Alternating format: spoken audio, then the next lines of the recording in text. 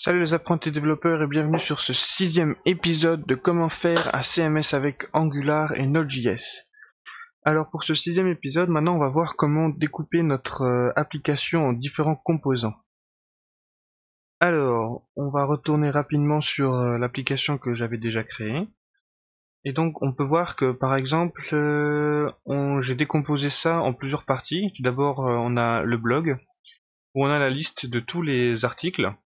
Donc ça, on va en avoir besoin, ce qui va faire un composant. Ensuite, on aura euh, un article en lui-même. Donc qui va être euh, en gros, euh, par exemple ici vous pouvez voir c'est écrit first article, mais en gros on a le blog et la liste de tous les articles hein, sur la route blog. Quand on va cliquer sur read more ici, on va avoir un article en particulier. Donc en gros ça va être plus ou moins le composant article détail. Et ensuite, du côté de, euh, de l'administration, on a euh, une liste de tous les articles avec qui est juste un tableau euh, les répertoriant tous avec les informations relatives au, à l'article avec un petit action pour aller l'éditer ou créer un nouveau un nouvel article. Et donc on peut aller genre éditer qui il y a un petit souci d'ailleurs qu'il faudra que je règle mais si j'actualise normalement tout va bien.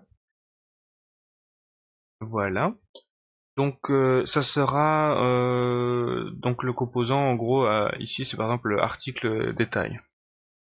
Donc on va créer tous ces composants et on va juste les noter sur sur un petit papier pour pour s'en pour s'en rappeler. Donc aussi ici je peux supprimer un ici vous avez vu dans la dernière vidéo qu'on avait renommé ce dossier en client à cause d'un petit souci. Donc on descend et maintenant on va avoir notre application décomposée comme suit. On va avoir la partie donc publique et on va avoir une partie administrateur, donc admin. Donc sur la partie publique, on va avoir simplement un composant blog qui va être la liste des articles On va aussi avoir donc euh, article par article par composant euh, par euh, voilà donc article par article les détails. Donc ici on va pouvoir mettre par exemple article détail. en gros ce sera show one article. Et du côté administration, on va avoir du coup notre euh, liste d'articles. Donc, article,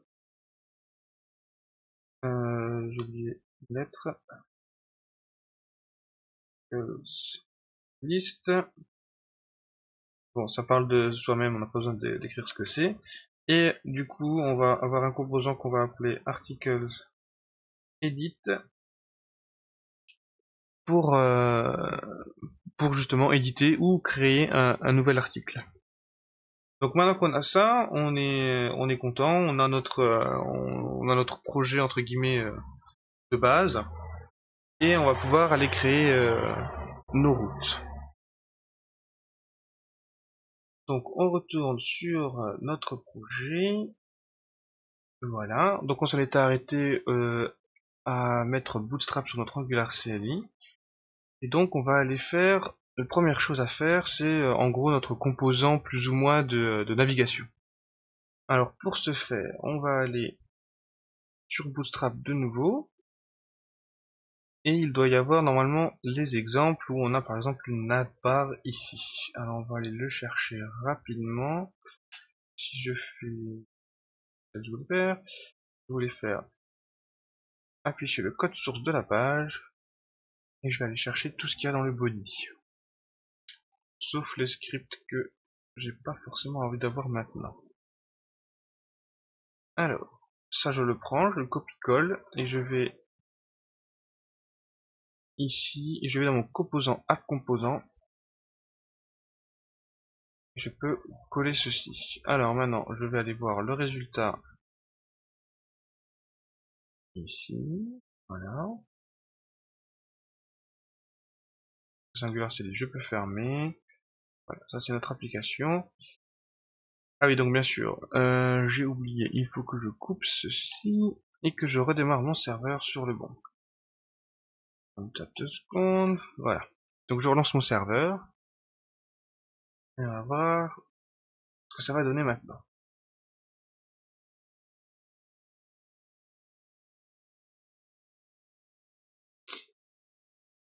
Bientôt prêt. Voilà. Donc on a bien notre navbar, le drop-down ne fonctionne pas, ce qui est logique, puisqu'on n'a pas le, euh, on n'a pas ajouté le JavaScript ni, rien du tout. Du coup c'est normal que ça ne fonctionne pas, mais euh, pour le moment c'est pas ce qui nous intéresse. On ne veut pas faire ça. Donc euh, on va juste supprimer le drop-down et on va juste faire des liens pour nos, nos composants. Alors on retourne dans notre euh, composant ici. On a donc ce qu'il y a à droite, on n'en a pas besoin, on le supprime. Le drop down, on n'en a pas besoin non plus, on le supprime. Euh, disable, on n'en a pas besoin, voilà. C'est bon. Donc, euh, on rappelle qu'on avait nos quatre composants. Donc par exemple, le premier, on va le mettre sur blog, ça sera juste euh, la liste des articles. On aura ici, euh, donc ce sera tout en fait, on aura juste notre blog. Et le deuxième lien, ce sera pour la partie du coup administration. Donc là, on pourra faire, euh, ouais, on va l'appeler admin. Voilà. Et ce qu'il y a dans le container, pour le moment, on n'en a pas vraiment besoin. Alors, maintenant, le but, c'est de créer nos composants et de les mettre dans notre, euh, dans notre app. Donc pour ce faire, on va utiliser... Non, oh, pardon, on va regarder vite fait le résultat. Voilà, on a blog et on a admin. Pour le moment, ça je peux enlever d'ailleurs. Voilà. Pour le moment, si je clique dessus, rien ne se passe, et c'est normal puisqu'on n'a pas donné de lien ni quoi que ce soit. on peut aussi renommer rapidement ici, c'est pas Napar, mais on va l'appeler par exemple To CMS. Voilà. Donc maintenant, on va créer nos composants. On va pas encore s'en occuper vraiment, on va juste les créer pour avoir la structure dans notre, euh, dans notre projet. Et c'est tout. Alors pour ça, on va utiliser Angular CLI de nouveau pour créer nos composants, ce qui est beaucoup plus simple. Donc première chose à faire, comme vous venez de le voir, j'ai euh, fait cd client pour, pour aller dans mon dossier client. Et là, à partir d'ici, je peux créer mes nouveaux composants. Alors, pour créer un nouveau composant, on peut faire ng generate, qu'on peut raccourcir en g, et component, voilà, qu'on peut raccourcir en C. Donc si on fait ng g pour generate, c pour component, ensuite on lui donne le nom. Donc par exemple, on avait dit, rappelez-vous du tableau juste avant, on a public et admin. Donc par exemple, on va aller dans public, slash, et là on va faire notre premier euh, composant qui sera donc blog. On va aussi rajouter une petite commande qui sera spec false et en fait, euh, par défaut, Angular CLI va créer un fichier euh, spec pour chaque composant qu'on crée, qui est juste pour le test, mais ici on va pas du tout se focaliser sur le test, du coup on ne veut pas le créer, et du coup c'est pour ça qu'on met le tiret-spec à false. Donc si je fais ça, qu'est-ce que Angular nous dit? Il nous dit, euh, le CLI nous dit qu'on a, il a créé dans source app public blog et blog component CSS, il a créé un fichier component.html un fichier component.ts. Et il a aussi, par lui-même, fait un update de appmodule.ts. Donc on va aller voir tout de suite appmodule.ts. Et on peut voir qu'il a ajouté à la fin le bloc component et il l'a tout déclaré. Ce qui fait que notre composant est déjà déclaré dans notre application et va fonctionner directement. On peut voir aussi qu'il a créé un nouveau dossier qui s'appellera ici public, avec dedans un dossier blog où il y aura tout notre composant. Dans l'autre composant, pour le moment, on peut voir qu'il est quasiment vide. Il va juste chercher le template avec le fichier HTML et le fichier CSS pour le style. Le fichier CSS est totalement vide et le fichier HTML, il y a juste un paragraphe Blockworks. Et c'est tout. Donc maintenant on va faire ça, on va réitérer cette opération avec euh, les autres composants qu'on avait. Donc par exemple, on avait on avait dit euh, le composant euh, article détail. Donc par exemple ici, allez appelons-le article détail comme sur notre schéma. Alors par exemple si on veut mettre un tiret, ce qui n'est pas possible de, faire avec le CLI, si on veut faire un tiret, par exemple, aussi on peut écrire en camel case. Donc le camel case, c'est commence tout, le, on écrit des mots euh, les uns à la suite des autres, mais on écrit toujours une majuscule entre chaque à, chaque début de mot, sauf le premier. Et donc ça, ça va nous permettre, si on le lance, vous allez voir, voilà, il a créé un fichier, un dossier, article-détail, avec un composant article-détail. Donc en fait, il sait euh, convertir le camel case avec euh, un langage tiré. Donc ça c'est pas mal.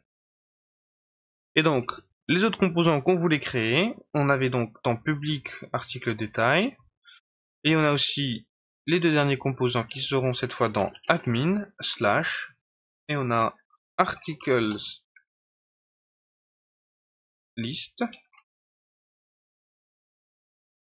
et le dernier qui sera articles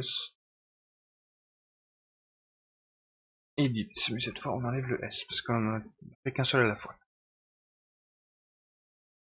Voilà. Donc là on peut voir qu'on a bien notre dossier public avec les détails et le blog. Et ici dans admin on a bien article list et article edit. Voilà, donc on a notre composant, on a tous nos composants, pardon, du coup on va pouvoir bien s'amuser avec, et euh, on verra ça dans le prochain épisode, comment faire pour euh, en fait euh, pour faire les routes. Donc ici vous pouvez le voir, on a notre navbar et du coup on va voir maintenant comment quand on clique sur sur nos liens en haut, on va pouvoir charger notre composant ici au milieu. Donc d'ici là, portez-vous bien et puis codez bien et à bientôt.